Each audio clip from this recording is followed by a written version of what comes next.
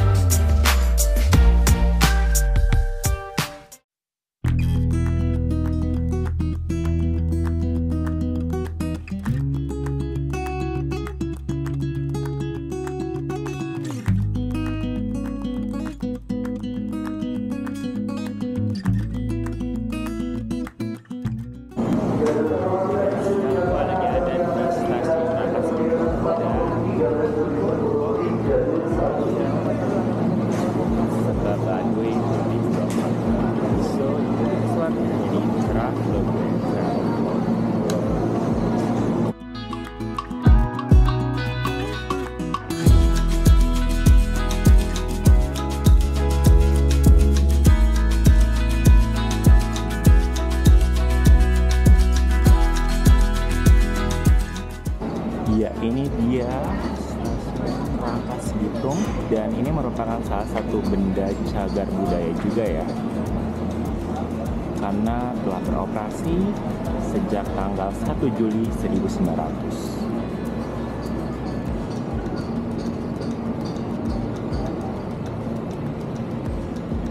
Oke, sekarang kita menuju ke spot kumpulnya yaitu di Museum Multatuli.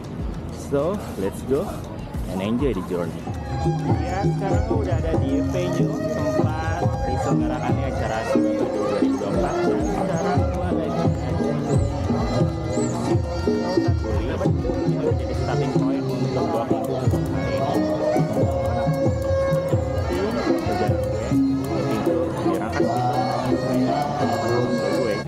kasih sudah eh, berkenan bergabung dengan World Tour kita sambil menyambut dalam rangkaian menyambut eh, warga saudara kita warga Baduy yang akan datang ke Ras Bitung dalam acara Seba Baduy 2024. Baik sebelum dimulai acara, saya sedikit mau menyampaikan informasi soal jalannya acara hari ini. Eh, kita akan dimulai seharusnya ini ada telat 5 menit. Kita akan dimulai eh, sekitar tengah dua. Jadi rangkaiannya adalah kita walking tour, kita berjalan kaki sekitar 3 km ke setidaknya ada tujuh titik yang akan kita datangi eh, tempat-tempat bersejarah di sekitar alun-alun Rangkas Bitung. Jadi hari ini kita akan berjalan, sore hari ini kita akan berjalan sekitar 2 jam sambil menunggu sampai jam setengah 4 berjalan kaki sekitar 3 km. Jadi dipastikan Bapak Ibu dalam keadaan sehat.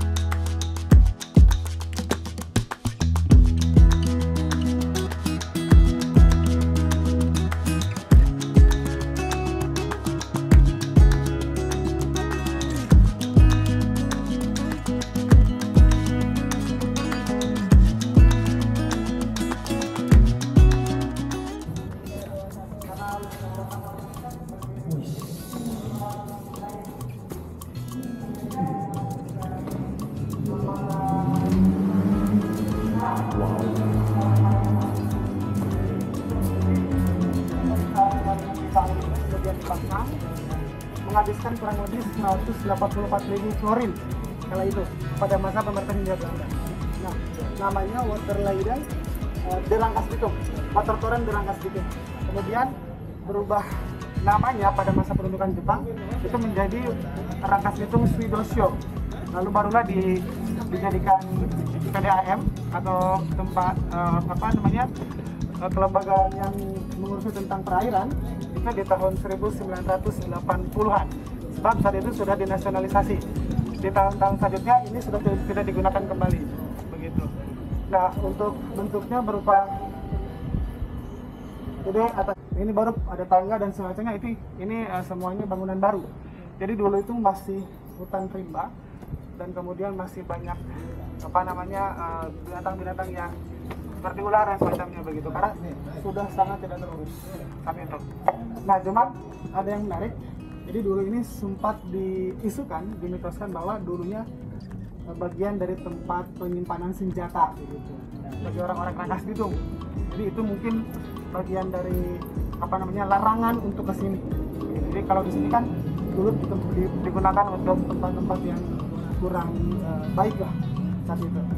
Nah untuk ininya untuk pasokan airnya 4 liter per detik. Menara air ini pak. Dan menara ini bisa memasuki apa memasok wilayah kebutuhan yang untuk kewedanaan kemudian untuk uh, rumah homestead atau kepala tetap yang ada di sini. Nah kenapa di diletakkan di sini atau uh, tepatnya di sini? Jadi ini yang paling tinggi saat itu di Rangkas Bitung jadi uh, ini memanfaatkan gaya gravitasi tanpa mesin dari atas ke bawah atau dari dari bawah ke atas menggunakan pompa air saat itu. Sebab airnya jauh banget dari uh, air, mata air Ciwasian di kaki gunung Karang 20 km ya? Ya kurang lebih sebegitu. Jadi cukup jauh. Ada tiga water tower. Gitu Pak.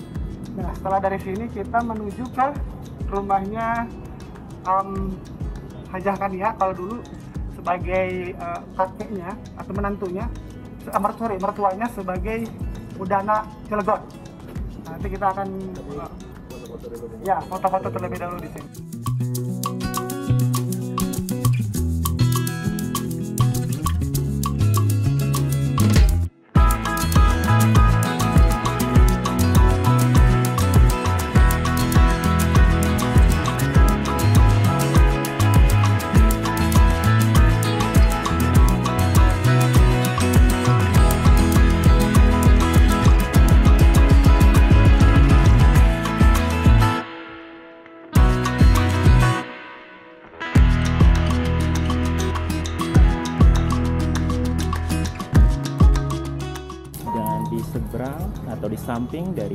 Tower Rakas Bitung ini ada makam Taman Makam Pahlawan Rakas Bitung. Ini sangat menarik sekali karena di walking tour ini kita bisa belajar mengenai sejarah Lebak dari zaman kolonial.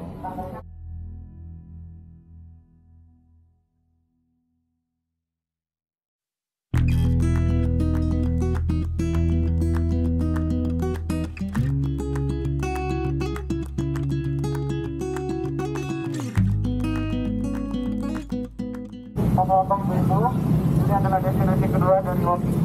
Kita sedang berada di depan kediaman uh, Mr. Setadi Sastra, yang mana saat itu beliau merupakan patih dari uh, Kawedanaan Cilegon. Jadi dia itu sebenarnya orang Cilegon, kemudian memiliki anak baru menikah dengan yang saat ini disebut dengan Ibu Hajah Kania. Jadi yang tempatnya orang ini sebenarnya adalah penantu, penantu dari Kawedanaan Cilegon namanya besar Nah secara arsitektur rumah ini menyerupai uh, rumah pedesaan karena arsitektur itu rangkas itu termasuk dalam kategori pedesaan ya. Dan rumah ini juga mulai tidak diisi itu dari sudah sejak lama kurang lebih dari tahun 2000-an sudah uh,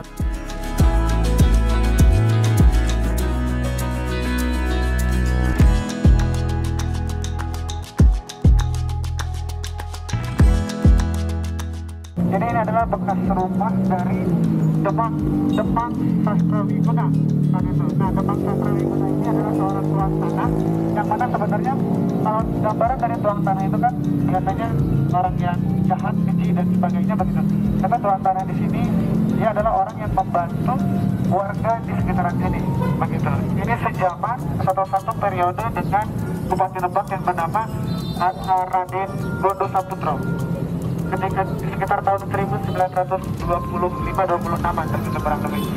Nah, rumah ini saat ini statusnya diisi oleh cucuknya, tapi kemudian di akhir tahun 2015 uh, pergi pulang lagi ke asalnya itu Bandung. Makanya terbukti kalian seperti ini tidak digunakan, halamannya cukup luas. Kenapa harus uh,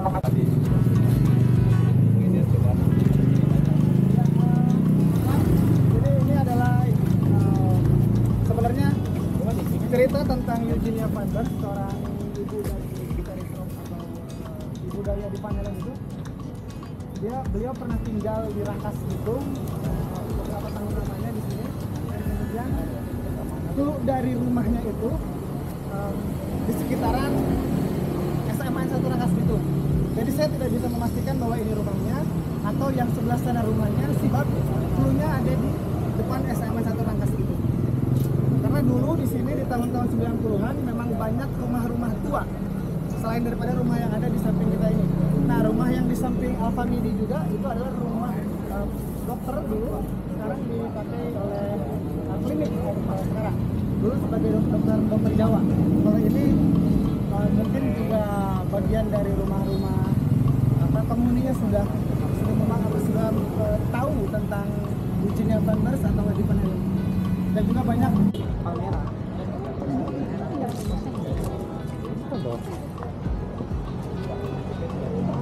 Nah ya bapak ibu ibu kita sudah berada di destinasi yang keempat empat tadi rumah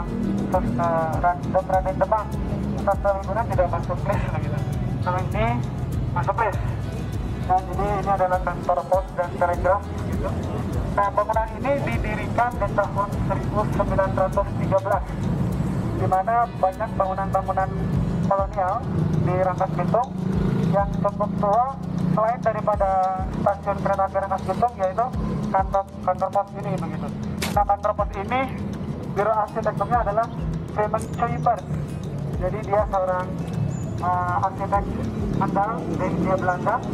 Dia membuat banyak bangunan selain daripada kantor pos juga membuat, membuat bangunan di kantor DPRD Kabupaten Lebak yang berada di samping kantor Bupati Kabupaten Lebak. Juga membuat rumah sakit yang berada di samping Jalan Tantuli nama rumah sakitnya rumah sakit misi. Begitu. Nah itu seluruhnya diserahkan kepada Biro Arsitek Clement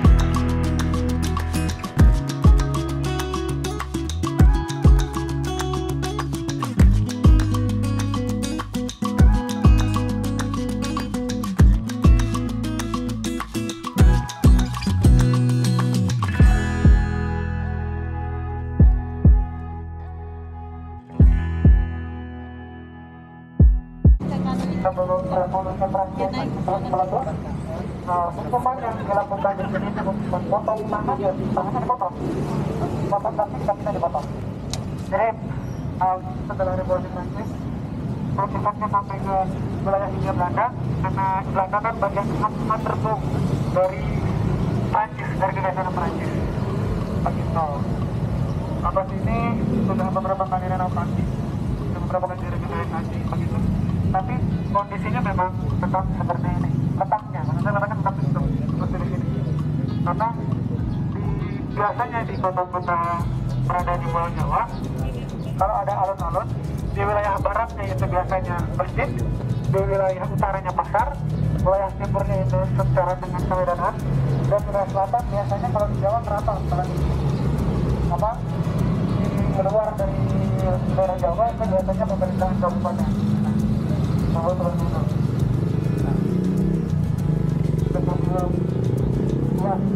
nanti